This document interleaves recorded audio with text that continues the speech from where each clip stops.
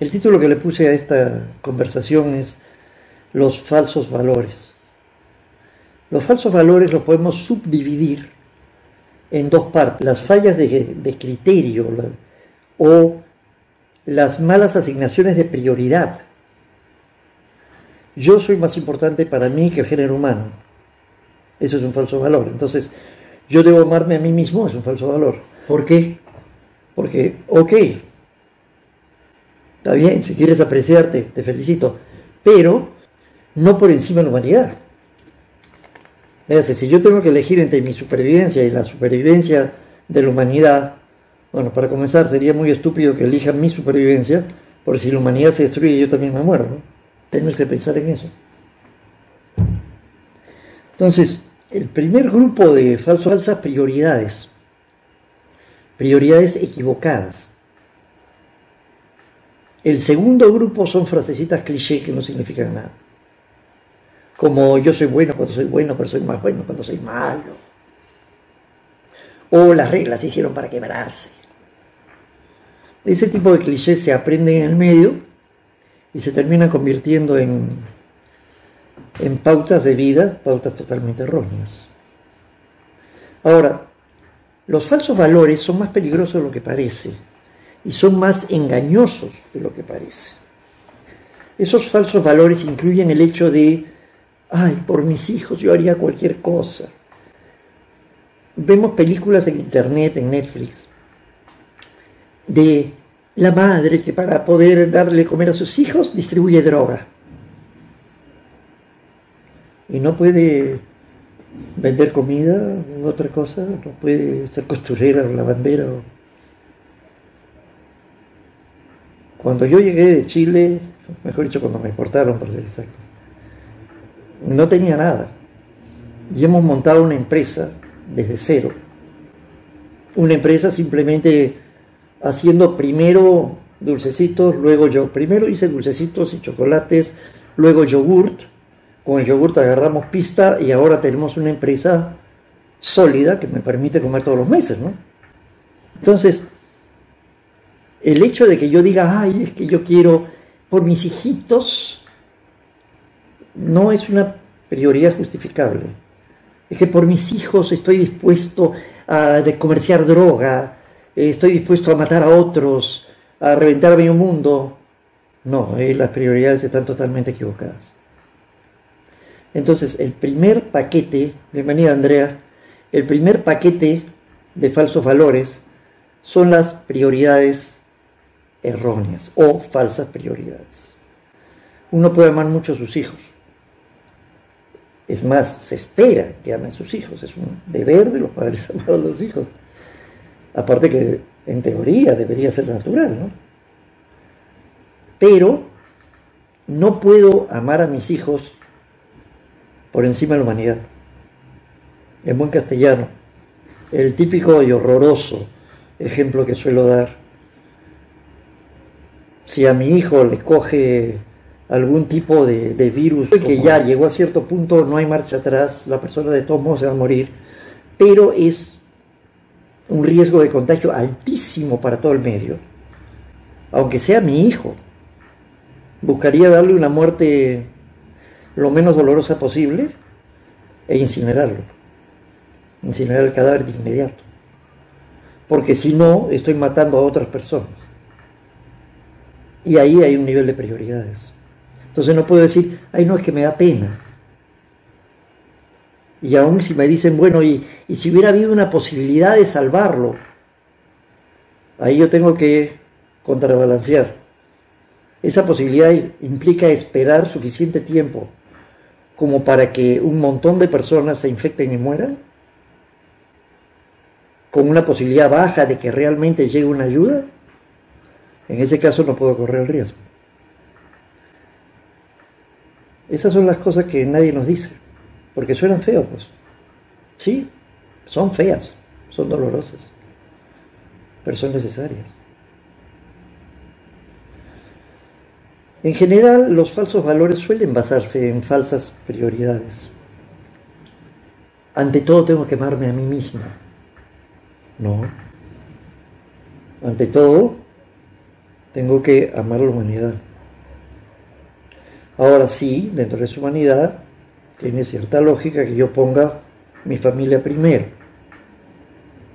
Pero si estoy eligiendo entre mi familia, que ya es un grupo, y todo el país o toda la humanidad, nuevamente pesa más la cantidad. Y quiera o no quiera, tengo que reconocer la situación y dar marcha atrás. No recuerdo el nombre de la película, pero este fulano se despierta en una cama de hospital, lo, han, lo han logrado sacar del coma y se topa con que está encerrado ahí entre las cuatro paredes, no le muestran mucho lo que hay afuera, y como que la cosa es muy cerrada, muy secretiva, muy, muy secreta, no, le dicen. Hasta que ya la enfermera le explica y le dice, mira, le dice, tú vienes de un mundo pasado, te encontramos en un estado de hibernación que se produjo porque te congelaste, te hemos logrado recuperar la vida porque eso era necesario, y tú eres el único que tiene los anticuerpos necesarios para evitar la destrucción de la humanidad por tal virus que ha aparecido. El problema es que recoger ese antivirus implica que tú vas a perder la vida. Pero de eso se va a poder generar el suero que salve a la humanidad. Y el tipo en el primer momento se siente dolido, frustrado, dice, para esto me despertaron. Entonces la chica le explica le dice, tenías que estar consciente y vivo para que tu organismo produjera los anticuerpos necesarios. Pero el otro lo piensa y dice, bueno, si es por la humanidad vale la pena. Y deja que tomen el antivirus.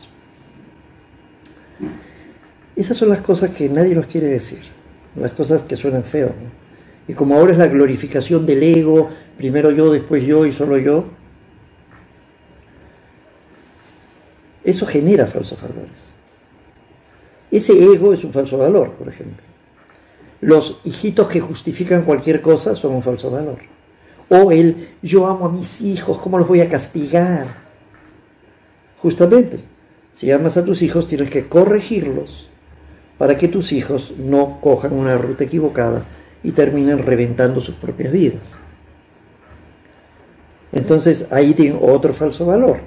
No, ¿cómo voy a a darle un palmazo a mi hijo, cómo voy a castigarlo, después me va a ver mal, me va a odiar, va a molestarse conmigo. Entonces lo que te importa es que tu hijito te diga que qué linda mamita que eres, qué lindo papito que eres. No, tu deber es formarlo. Y formar muchas veces implica hacer cosas que no le van a gustar. Como cuando se duerme un caballo. Maldita la gracia que le hace al caballo.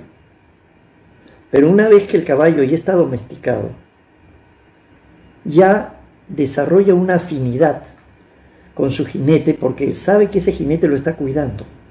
No solo le da comida, sino que lo cuida. Entonces ya se produce una relación como de amistad. Entonces sí, cuando uno corrige a un niño, en el primer momento el niño posee una gran pataleta, pero más adelante va a entender. Maldita la gracia que me decía a mí que me castigaran. Y cuando mi abuelo se le cruzaban los chicotes y decía, bueno, esto ya es una falta grave, era con la correa. En mis tiempos se usaba la correa. Y, y por supuesto, no me hacía ninguna gracia.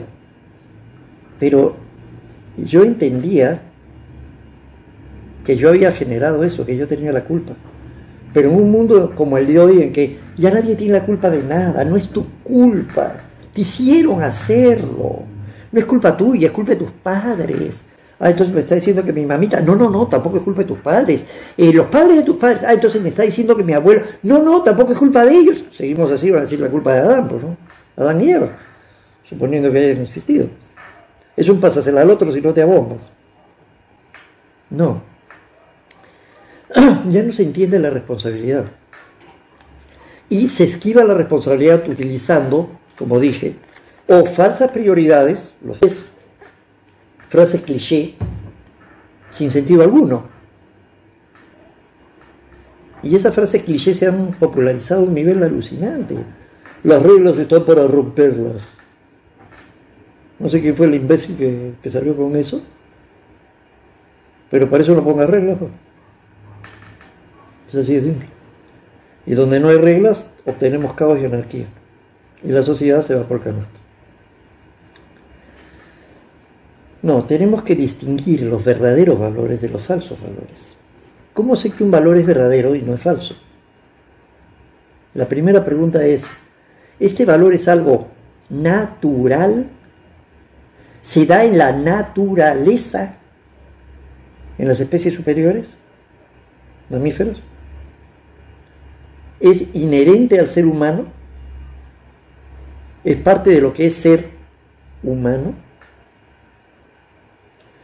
A eso alguien una vez me contestó, pero es inherente al ser humano el ser egoísta. Ah, entonces, como yo le dije, entonces tú consideras el egoísmo una virtud. Y todavía encima me contestó, en muchas circunstancias sí. Le dije, ah, entonces no solo eres egoísta, sino cínico. No. El egoísmo no es una virtud humana, es un defecto humano, muy común, sí. Pero el que sea común no lo vuelve una virtud. Entonces tenemos que reevaluar nuestros valores y nuestras prioridades. Repito, para los que llegaron un poco tarde, en la internet, en eh, Netflix y este tipo de sitios, veo películas por docena de, ay, el pobre hombre que para eh, salvar a su hermano, a su hijo, a su chica, eh, tiene que aceptar hacer lo que le piden los chicos malos y tiene que asesinar a alguien o traficar droga. No, no es justificable. Si para salvar la vida de mi hijo me exigen asesinar a alguien, la respuesta es no. Aunque sea mi hijo. Así de drástico. Sino que le voy a enseñar a mi hijo. Estos son los valores que debes cultivar para ser una persona de provecho, pero cuando no te convenga cuando tu hijo está en riesgo, puedes cambiarlos. Esa es una lección muy dudosa, por decirlo menos. No. Los principios y valores deben mantenerse. Llueva, truene o granizo. Sin importar las circunstancias, no hay atenuantes. Los principios y valores son fijos. Si no son fijos, no son principios y valores, son solo opiniones.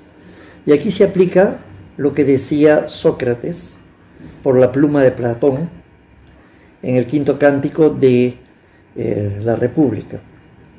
Cuando Sócrates enfrenta a los sofistas y les dice, ¿cómo ustedes pueden atreverse a llamarse filósofos si eso exige sujetarse como hijo, sujetarse como pariente, filei, a Sofeina, una verdad absoluta.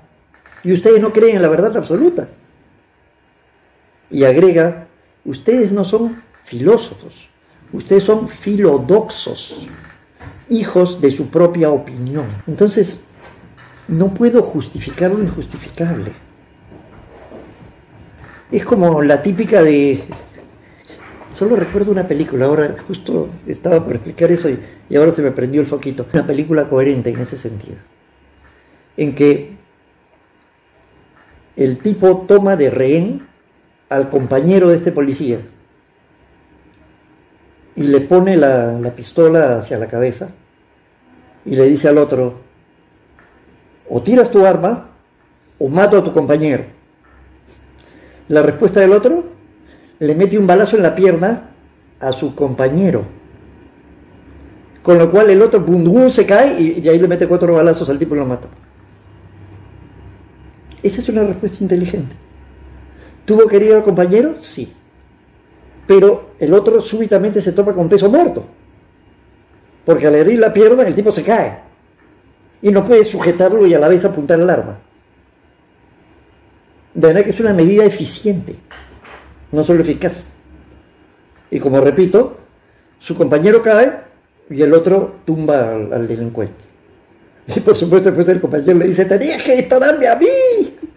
Bueno, no creo que le haya hecho mucha gracia, pero, pero le salvó la vida, hay que reconocerlo, con balas en la pata, que si calculó bien simplemente coge carne del muslo, o que es doloroso, puede ser una cicatriz, pero mientras que no le dé al hueso no hay problema. Puede parecer una solución loca, pero es una solución que se, se respetan las prioridades y los principios. No puedo dejar escapar al delincuente, debo intentar salvar la vida de mi amigo, y la vida de mi amigo es más importante que el producirle dolor en una pierna. Entonces cumplo con todas las prioridades y elimino la amenaza. En una forma poco común, sí, pero altamente eficiente. Entonces, esa, dicho se paso, es la única película que he visto algo así, porque las demás siempre tiran estúpidamente el arma. Y muchas veces he visto varias películas en que el, el, maleante, una vez que tiró el arma, le mete un balazo al policía y mata al rehén. O se lleva al rehén y lo mata después. Por supuesto, en esas películas el policía sobrevive para poder vengar al rehén que mataron. ¿Y por qué no lo salvó primero? Hubiera sido más lógico, ¿no? Yo he sido tirador nacional. Participé por el Club Revolver, mis especialidades eran carabina olímpica, pistola de duelo y fuego central, lo que se llama 38 eh, especial, bala, bala grande. No digo a 50 metros que, se hace el entrenamiento de pistola de duelo, sino normalmente en esas películas el, el tipo malo está a 5 metros, no más de 10 metros, porque está dentro de un cuarto a 5 metros. Con que yo simplemente vea la mitad de la frente del tipo, le alojo un balazo ahí. Tengo que tener muy mala puntería para darle al rehén o darle a, la pared. A esa distancia le pongo la bala entre ceja y ceja. Entonces, o todos esos policías son unos ineptos, la Hollywood considera que todos los policías su entrenamiento es inútil, o muchas veces se les ha prohibido disparar en esas condiciones para no correr un riesgo legal. Y si yo no disparo por no correr un riesgo legal, estoy faltando a mi deber. Son las cosas que no se ven. Otro ejemplo de falsos valores, hablando de la policía, las persecuciones. Viene el, policía y como han robado un banco, persiguen a los maleantes en un auto disparándoles y los otros disparan y los maleantes disparan, el policía contesta y los autos corren a toda velocidad. Eso es estúpido. ¿Por qué? Porque están arriesgando a todos los civiles. Yo lo único que hago es tomo la placa y aviso. Porque si no, en esas correteadas y tiroteos van a caer civiles, o atropellados por los dos autos, o en una bala perdida que se los llevan estoy poniendo en riesgo a la gente que se supone que como policía debo proteger. Ahí tenemos nuevamente falsos valores. Esos son los falsos valores que, de los que nadie habla, en los que nadie piensa, pero que los vemos a diario. Profesores, no, dictáfonos con patas, porque profi de significa poner por delante lo que creo, mi fe. Eso es profesor, el que profesa. Los que ahora llaman profesores, porque tampoco son ni profesores ni maestros, que hay lo que lo importante es que los chicos no se sientan mal porque los reprueban, entonces tengo que lograr que tal porcentaje de la clase apruebe aunque no haya aprendido realmente. Con eso, hoy en día los colegios y peor las universidades están arrojando camadas de gente inútil con un lindo diplomita, pero que no saben ni dónde están parados. Y la capacidad de los profesionales de hoy es cada vez más baja. Y no saben ni dónde están parados.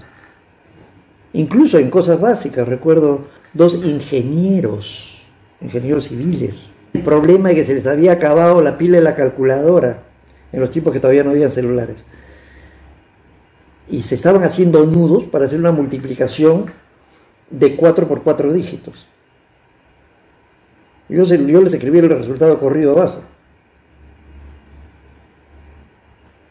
Ellos no podían con lápiz y papel. Cada cual sacaba un resultado distinto y los dos resultados estaban mal.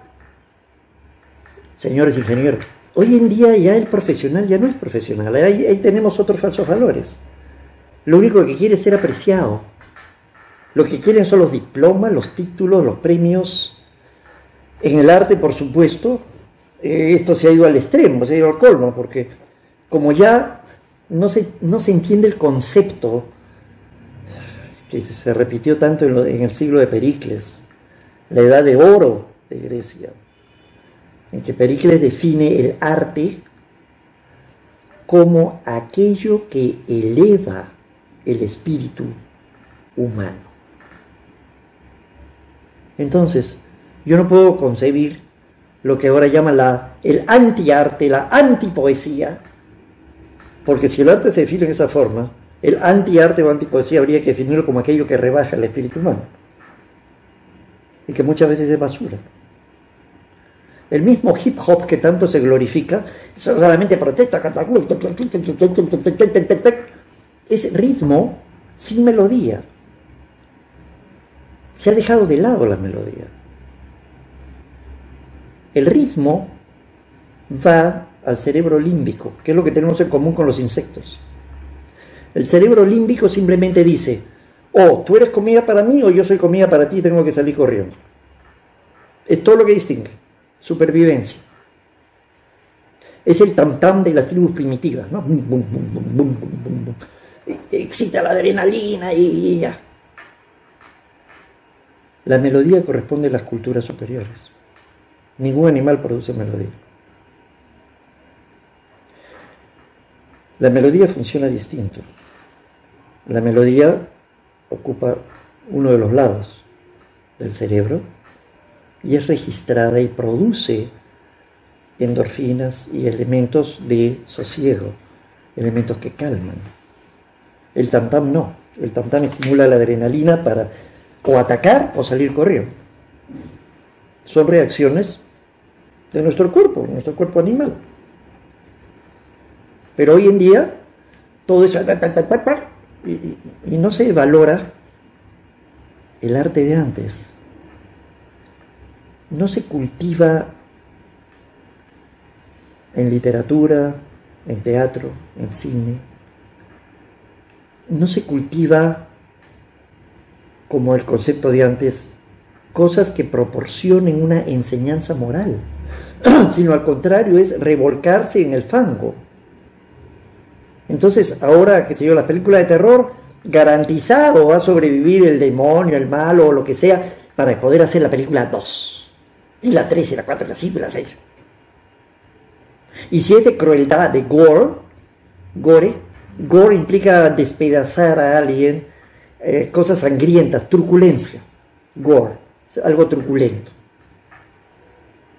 Como So, Sierra, hay que simplemente un asesino que encierra a la gente y la somete a pruebas en las cuales se van a morir en formas horrorosas, o el cubo, que también fue algo así, y olvídense, han habido el cubo 2, el cubo 3, eh, creo que Sierra llegó hasta 5, eh, Hostal llegó hasta 5 o 6, eh, Jason y todas esas también han llegado hasta, creo que Jason llegó hasta la 10. Jason en el espacio. Lo pusieron en órbita. Esas son películas súper populares porque ah, estimulan mi adrenalina. Ok, llámenme primitivo, pero recuerdo, alguna vez fui chico también, recuerdo en mi juventud haber visto películas como Flipper, la del delfín, y, uno se, se alteraba cuando veía que el, delfín podía morir. Leer libros como Platero y yo, y uno lloraba con la muerte de Platero. Uno se conmovía, porque aún tenía sentimientos humanos. Pero si ahora alguien dice, uy, vi esta película, leí este libro, y me hizo llorar. Ay, no seas ridículo, hombre, tú tienes que estar por encima de eso, a mí no me afecta nada. Y dejamos de lado la definición de humano que no me canso de repetir, porque está en el diccionario de la Real Academia, al menos en el antiguo, que dice que una definición de humano es aquel que se conmueve por el dolor ajeno.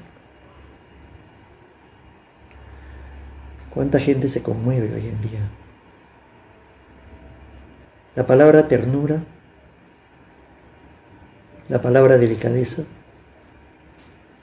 la palabra inocencia se han vuelto casi inútiles al perder su significado. Ya no vemos eso. Ahora pensamos que ser más duro y más bruto y ser más fuerte, ser superior. Y nos olvidamos que el diccionario define bruto como animal en oposición a lo humano.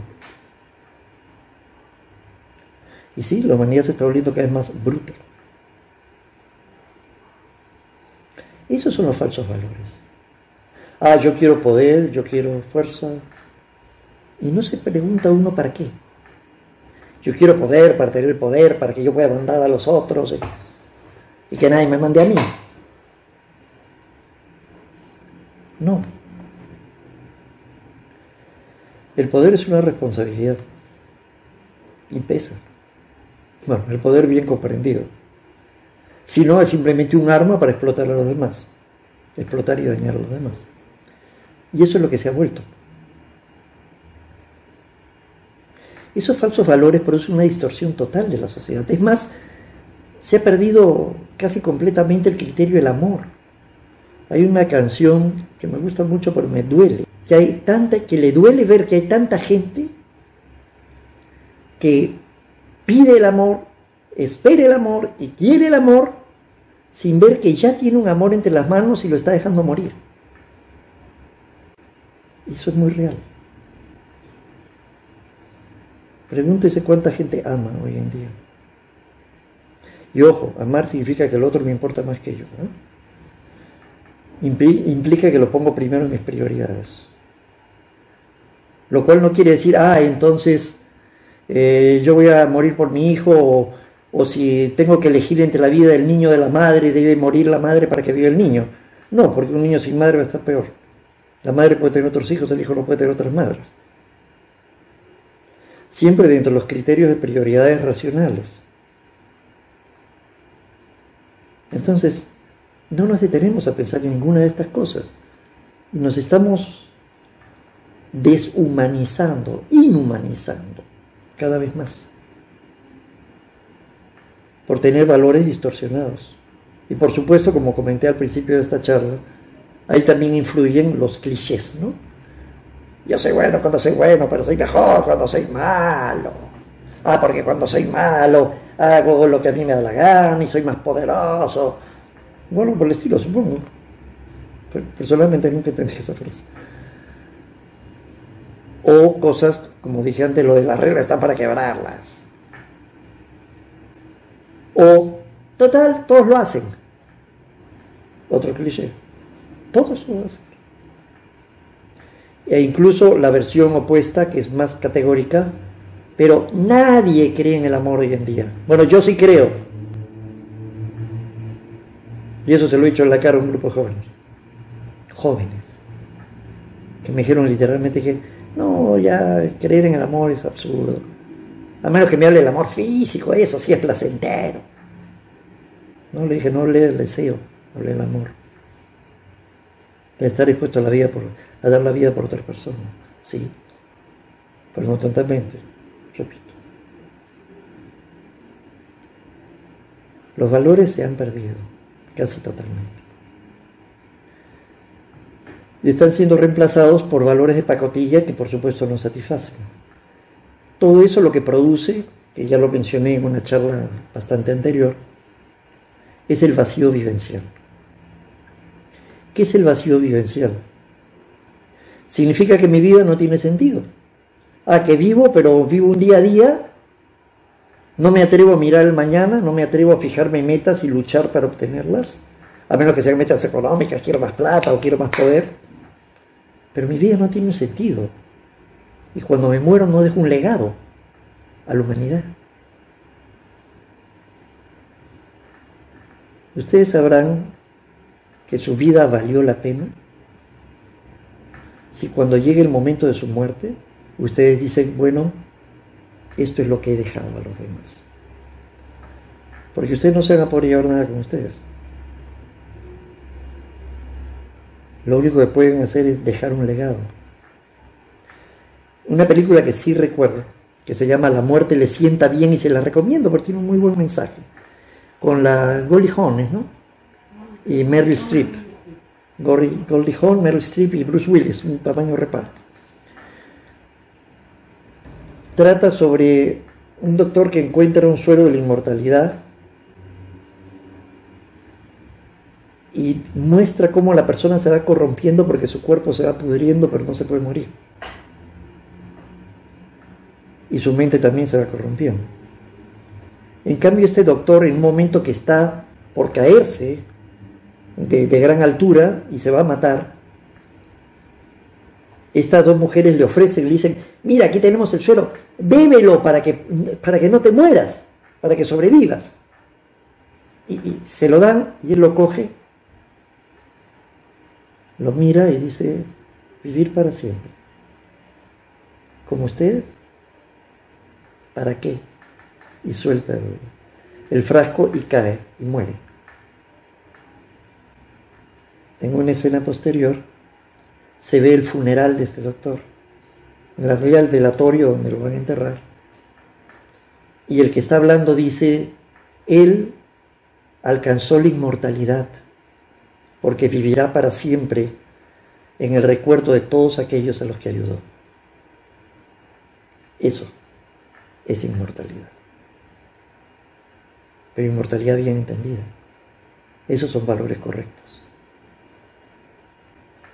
Entonces mi pregunta, si ustedes se murieran hoy, ahora, ¿qué han legado? ¿Cuál es su legado? ¿Qué han hecho por los demás? ¿Cuántas personas pueden decir, Él me dio esto? Y por eso lo recuerdo con gratitud. Esa es la pregunta que tienen que hacerse. Y el momento de su muerte es aquí y ahora, cada minuto. Si ustedes viven cada minuto como el último minuto de su vida, van a vivir bien. Y no van a hacer tonterías. Y cuando llegue el minuto real, van a poder relajarse, abrazar la muerte como una vieja amiga que viene a ofrecerles un descanso y morir en forma plácida con una sonrisa. Sí, sí se puede. Créanme que se puede. Pero no se puede mientras que uno se sumerge en mezquindades, en yo lo quiero todo para mí. Y ahí es donde se necesita la religión religarse. No solamente con el universo, con la naturaleza, ecología, sino con las demás personas, con cada persona del género humano, incluso con mis enemigos.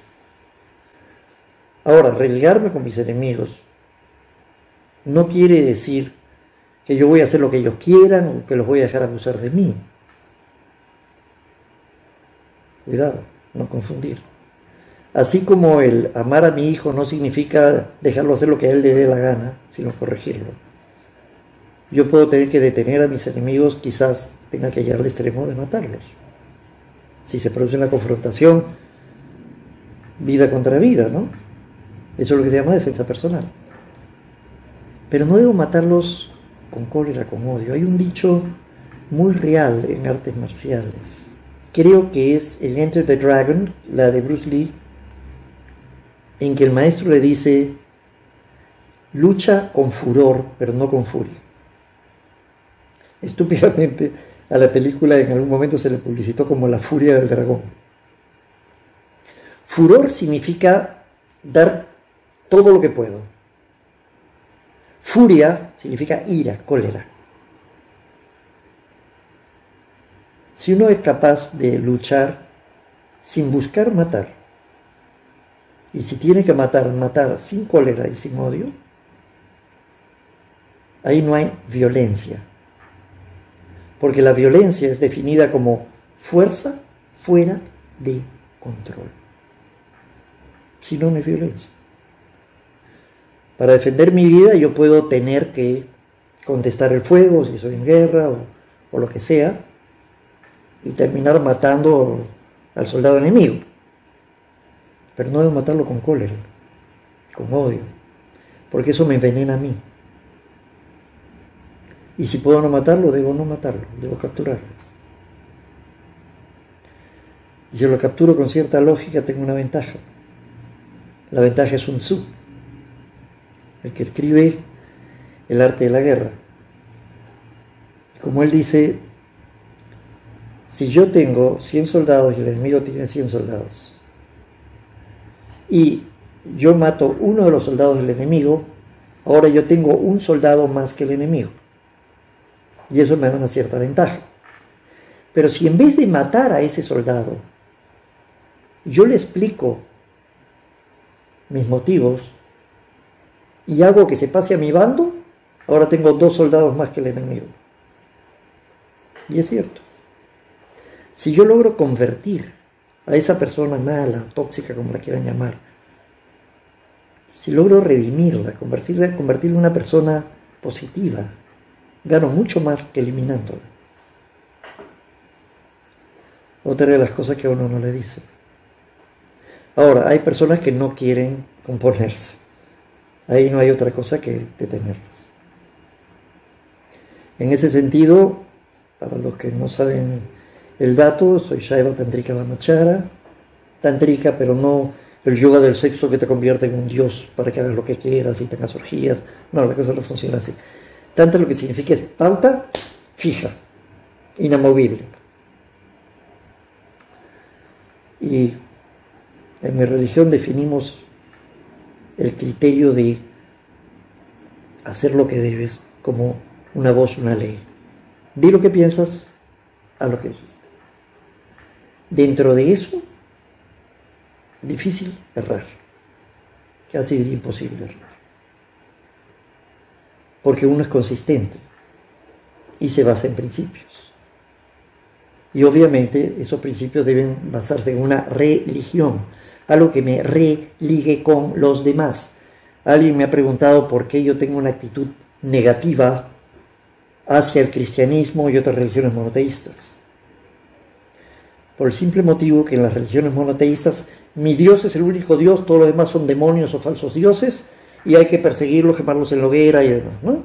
Eso es históricamente demostrable y es demostrable en la Biblia en que puedo mostrarles en el Nuevo Testamento, para que no vean que es el Antiguo, en la segunda de Juan, si alguien que viene a vosotros tiene otro credo, no le deis ni el saludo. Y también habla de al que no cree esto, échenlo fuera para que el demonio lo destruya. Hay una serie de frasecitas de ese estilo. Y los cristianos cuando han tenido el poder lo han demostrado. Entonces, también ahí hay falsos valores se mata en aras de la religión, se mata en aras del patriotismo, se mata en aras de enriquecerse. Se destruye el planeta, se malogra la naturaleza por un dólar más. Los falsos valores van a producir la extinción de la humanidad. Desgraciadamente, como van las cosas, quizás lleguemos a verla, Tal vez yo no, porque ya, ya estoy en la edad sabrosa, 69. Pero muchos de los que aquí están, que son jóvenes, pueden ver un final, no un final en el sentido de, ay, el mundo se va a desintegrar, ¿no? No, un final de lo que es ser humano, la extinción del concepto del humano, en que ya yo me voy a poner cosas para ser un cyborg y tener adelantos cibernéticos y músculos artificiales y una computadora en la cabeza. ¿Y, ¿y qué porcentaje de humano va a quedar en mí? Porque si ya la humanidad está perdiendo el criterio del humano, si comienzo a mezclar con otras especies porque ah, la genética me permite combinar con tales productos o cosas por el estilo, sí, yo voy en pocos años a ser capaz de hacer lo que la naturaleza ha demorado millones de años en hacer. y produciendo también algunos errores que fueron extinguidos, ¿no? borrados del mapa. No, eso se llama vanidad. Le hace orgullo en vano, un orgullo de algo que no, no merece enorgullecerse. Siendo las 7.53, entramos a la ronda de comentarios y preguntas. Y como siempre, voy a ir dando la palabra uno por uno en el orden que los veo en mi pantalla. Por favor, un comentario breve o preguntas breves y claras. Si son preguntas muy claras, para que pueda entender qué están preguntando, por favor. Y comenzamos con Wolf, que es el primero que tengo acá arriba en mi pantalla. Wolf, tiene la palabra. Maestro, ¿será que la gente no se religa eh, con las deidades porque no ha avanzado tanto en la pirámide de No es que no hayan avanzado tanto en la pirámide, no sé si quieras hablar la pirámide espiritual o la pirámide intelectual o la pirámide que quieras. No es tanto eso, sino que se ha enseñado a los niños, se ha mal enseñado a los niños desde pequeños, que lo más importante eres tú mismo, amate a ti mismo, sé egoísta para que obtengas lo que a ti te da la gana. Y servir a un Dios, no, para servir a un Dios tiene que ser un esclavo de ese Dios. Incluso en la Biblia dice yo tal o cual siervo o esclavo, la palabra que usa en griego es doulos, que literalmente es esclavo de Jesucristo. Entonces, Adorar a un Dios es sujetarse como un esclavo, sujetarse como propiedad de ese Dios y obedecerlo en todo. Ah, no, yo no. Yo hago lo que a mí me da la gana, a mí no me manda nadie. El error de confundir libertad con anarquía, que nadie me mande, o con vivir al capricho, libertinaje, hacer lo que, lo que me provoque. Nosotros definimos libertad como hacer, ojo, momentito, tenemos un problema acá. Ya, no. Bueno, definimos la libertad como elegir a qué cadena me ato. Le hace hacer lo que creo que debo hacer, no lo que me da la gana.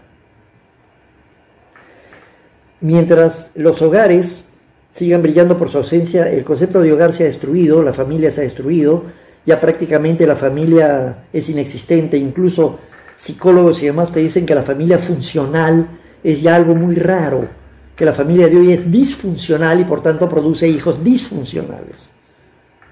Pero nadie quiere volver la familia funcional con valores, principios, una religión coherente, con autoridad del padre, autoridad de la madre, sujeción de los hijos. Entonces, al perder todo eso, obviamente, como el Dios viene a ser como un padre universal, automáticamente, si yo no respeto ni a mi padre, no voy a respetar a Dios. Eso hasta la Biblia lo comenta diciendo, si ustedes no aman a su prójimo al que ven, ¿cómo van a amar a Dios al que no ven? Ese es el verdadero problema. Y pasamos con Andrea. Comentario o preguntas. Buenas noches. Buenas noches, Andreita. Siempre un gusto verte. Sí, eh, me quedé con una pequeña duda porque, bueno, siempre he tenido este problema, así, y es el hecho de que, bueno, yo, eh, yo soy hija única. Entonces, desde niña mi mamá, no es que me daba todo, obviamente me, me ponía... Te mimaba. Para darme ciertas cosas. Por ejemplo, no sé, apruebas el curso con tal nota y yo te compro tu bicicleta. Cosas así. Sí. Pero todo era para mí. Claro. De que, por ejemplo, me compro algo, me compro una laptop, viene mi primo y me dice, a ver, déjame verla. Y yo siento... no quieres que la toque. No. No quieres que la toque. Ya, eso es normal, eso es un hábito. Ahora, ¿te digo algo? Atrévete a venir a mi casa y pídeme tocar mi máquina y te estrangulo. eso, ¿Por qué? Porque en mi máquina tengo todas mis cosas y la tengo preparada de una forma específica. Una cosa es déjame verla y otra cosa es déjame tocarla y probarla. Hay cosas que no se prestan, entre ellas la computadora personal porque te metes en problemas. Entonces, cuidar esas cosas no significa ser egoísta o, no compartir. Pero eh, que te diga, a ver, déjame ver esto, ok, simplemente lo está apreciando. Pero de ahí a que digas, no quiero que toque nada de mis cosas y produzcas como una barrera y te aísles, no es saludable. Pero lo que sí puedes hacer es irte fijando en los demás, ir viendo qué necesidades tienen esas personas. Las chicas a veces se asombran porque yo estoy trabajando, haciendo cualquier cosa y en una de esas le digo a alguna de ellas, oye, si necesitas tal cosa está ahí. Y me dice, ¿cómo te diste cuenta? O me paro y se la proporciono. Porque estoy atento a las necesidades de los demás. Esfuérzate en mirar a los demás y estar atento a sus necesidades y eso te va a desarrollar como persona humana. Y pronto vas a ver que vas a obtener tu recompensa porque la primera vez tal vez ni te vean ni te aprecian, ni se den cuenta. Pero en algún momento alguien va a decir, no, es que ella que es tan servicial, ella me ayudó en esto, en esto, en lo otro. Y ese es el bagaje que te vas a llevar cuando te mueras. Cuando otros puedan decir, lamento que se haya ido Andrea, porque realmente ella era servicial, era amable, era así, era así. Ese es el único legado que puedes dejar. Piénsalo. Bienvenido, Nicolás. Buenas noches. Eh, una consulta, Guru. ¿Usted cree que con el tiempo, ahora que se moderniza, desaparezca la religión? Porque la gente mucho quiere evidencia. Yo a veces digo, que o sea, hace dos mil años, cinco mil años, pero hoy en día la gente ya incluso ya ni siquiera cree... Pregunta comprendida, seamos breves. ¿Ok? La pregunta es, ¿cree que el tiempo desaparezca la religión? Espero que no, porque, espero que no, porque en ese caso va a desaparecer la humanidad. Eh, te doy dos anécdotas. Uno, el del fundador del racionalismo, que él dijo, él, ojo, en un momento se declara ateo, pero luego crea una religión, que es el racionalismo, y él dice, si Dios no existiese, y ya creía que existía, tendríamos que fabricarlo para no destruirnos los unos a los otros. Y una anécdota de mi religión, bueno, una parábola si quieres de mi religión, en que un joven noble, rico, pasa a caballo junto a donde está sentado un gurú rodeado de sus discípulos dando enseñanzas. Y el joven para de caballo un momento, lo mira, lo escucha un rato y le dice, oye, le dice, ¿para qué sirven tus enseñanzas? ¿No ves que la humanidad está realmente mal? Y el gurú riéndose le dice, sin las enseñanzas la humanidad no estaría mal, simplemente no estaría. Donde tú eliminas la religión como motivo de religarnos los unos con los otros. Y ojo, las palabras religión, religarse, filosofía, sujetarse como hijo a la verdad absoluta, ecología, encajar en el medio ambiente, yoga, unión, para mí significan lo mismo, son lo mismo. Entonces, donde tú eliminas eso, ¿qué pasa? Y ya estamos viéndolo, la ecología se ha ido al tacho. Ya a la gente no le importa el universo, no le importa su planeta, no le importa nada, lo único que le importa es ganar un dólar más. A las personas no le importan las demás.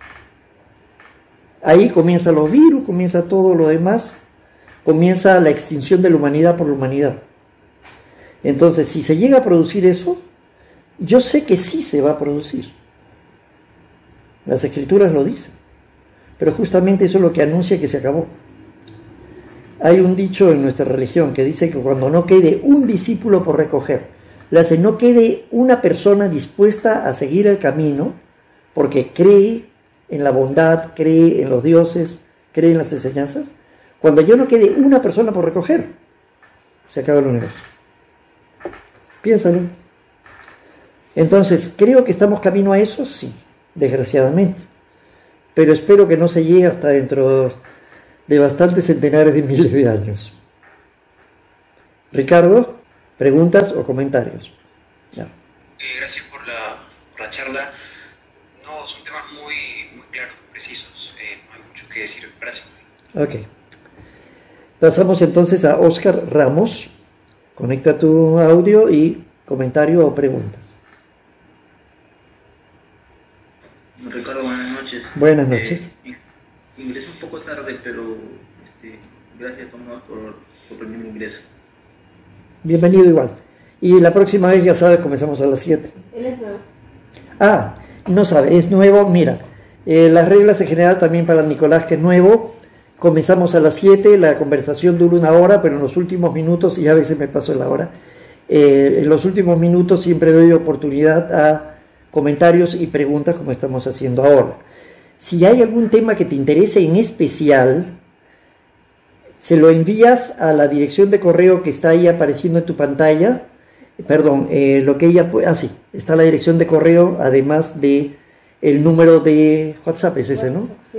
Le, le envías por WhatsApp o por dirección de correo, le puedes enviar un mensaje a Melissa, que es una de mis esposas, y decirle, bueno, me gustaría que se trate tal tema o tal otro tema. Cuando las personas piden un tema, si hay varias que lo piden, se le da prioridad. Si hay una sola, se ve qué temas han pedido y se elige uno y los otros se postergan para las siguientes reuniones. Eh, las demás reglas son no insultar ni ofender a nadie, ser respetuoso con las demás personas. Ojo, puedes discutir ideas tan, tan fuerte como quieras. Yo puedo decir que lo que me estás diciendo es absurdo. Incluso puedo decir que lo que estás diciendo es eh, estúpido, donde estupor es ceguera autoproducida. Entonces yo puedo decir que el, el criterio de la imposición del monoteísmo es un concepto estúpido. Le haces cerrar los ojos a querer imponer a que todos tengan que creer lo mismo. Pero no puedo decir que tú eres un estúpido por ser monoteísta, porque eso sí es insultarte a ti. Entonces, en esta reunión puedes hacer comentarios tan fuertes como quieras sobre lo que quieras, incluso sobre mi religión o sobre lo que quieras, o mi persona, pero no directamente como insulto. Puedes discutir las ideas, los principios, no insultar a las personas. Esas son todas las reglas, es bastante simple, creo yo. Y por lo demás, repito, comenzamos a las 7, terminamos teóricamente a las 8, siempre nos pasamos de la hora.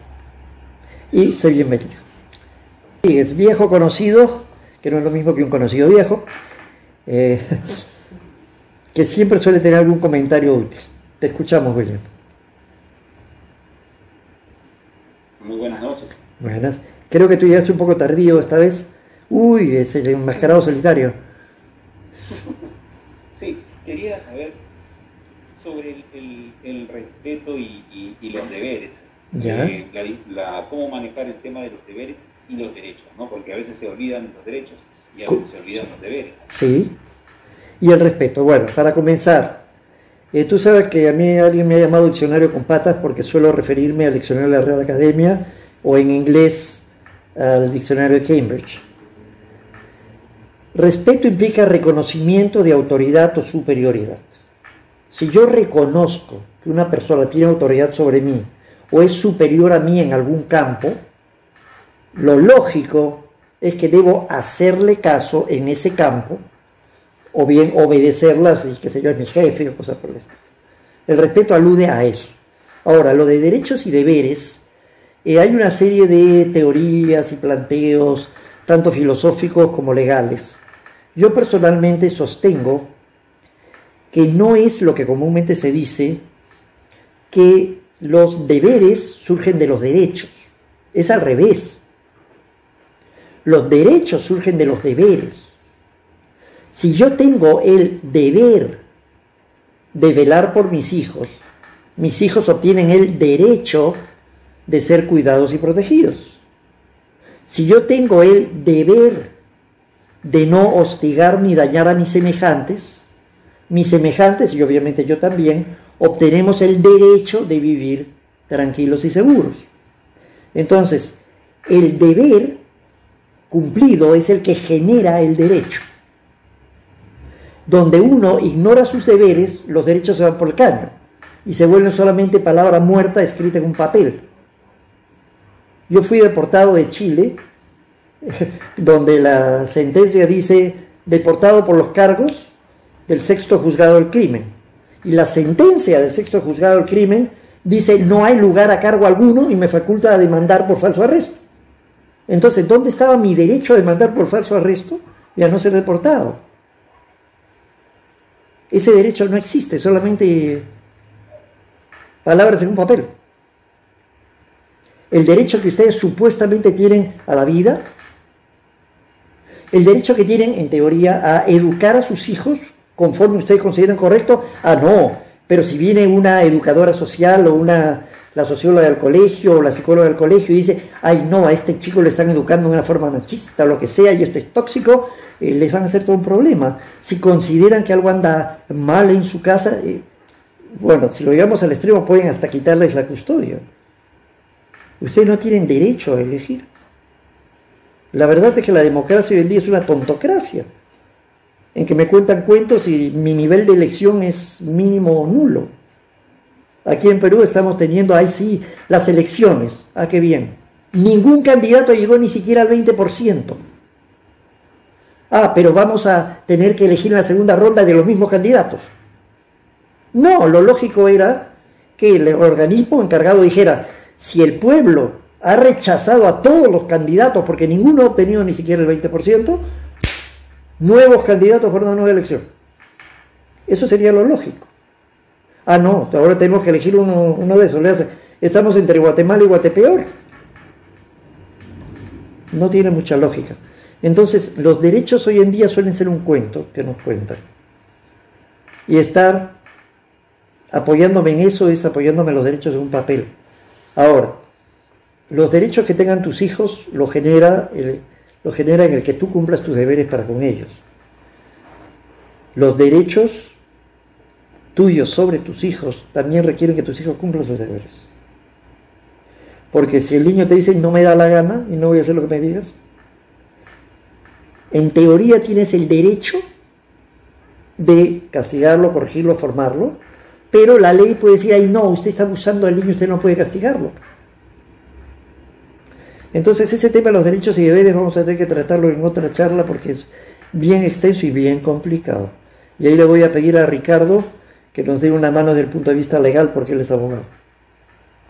Y hasta aquí llegamos contigo y pasamos con... Pucha, que todos se me movieron acá.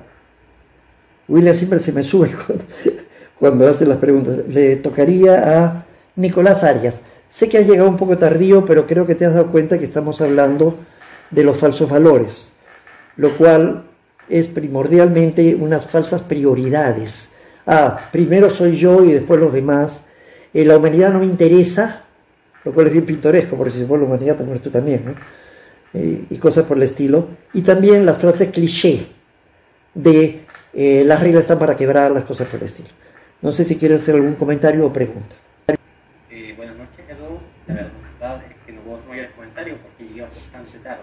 Sí, me doy cuenta. en cuanto al horario, porque como soy de Chile. Ya. Ah, y una aclaración, tú que eres de Chile. Bien, una aclaración, tú que eres de Chile. En estos momentos aquí en Perú son las 8 y cuarto, 8 y 14 para ser exactos. Con eso puedes calcular para la próxima vez cuando comenzamos. No sé si estás al tanto, eh, yo fui deportado de Chile por tener seis esposas. Llevo 25 años demandando al Estado chileno por derechos humanos. Bueno, entonces sabes quién soy. Con toda libertad, comunícate. Y si en algún momento deseas algún tipo de consulta personal, eh, la primera conversación es totalmente libre, pero después de eso, si ya lo que quieres es toda una preparación o terapia, ya es tema aparte. Y eso sí tiene un costo por hora. ¿Ok? Y aquí le doy las buenas noches a todos, siendo las 8 y 16. Y espero que para la próxima vez tengo una conexión de internet que no tenga que venirme junto al router con la laptop, sino que tenga una cámara decente. Buenas noches a todos.